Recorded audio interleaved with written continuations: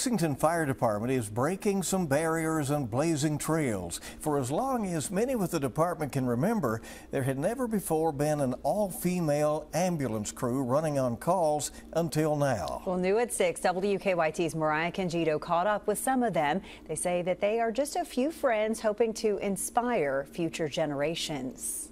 The fact that we get to ride together today is like fun. Like we're, we're, we're having a blast. When a call comes in, the assigned crew straps on their gear, gets into the ambulance, and heads out. Averaging about 15, 20, sometimes more calls in a 24 hour period shift. What you might notice about this crew is that it's all women. The term fireman comes free of bias of gender, age, race, size and I think that's a great thing. They don't get to ride together every day, but when they do, they say it's never boring. I feel blessed, you know what I mean, just to have this opportunity. Aaron Lucas, Chelsea Brown, Michelle Spanier, Olivia Speratos, and Tamara Taylor, who couldn't be a part of the interview today, are just a few of the women breaking barriers in a male dominated field. Would you say maybe a little bit of a dream team over here? Like 100%.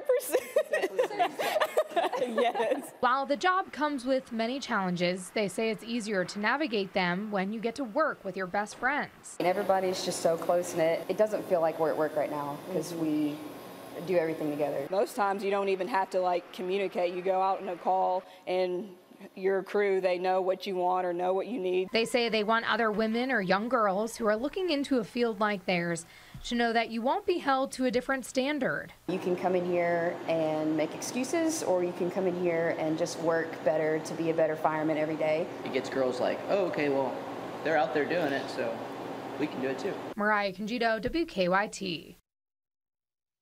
Girl power, I like it. Some of them say that they have worked together since 2018 and they look forward to welcoming more women into the career.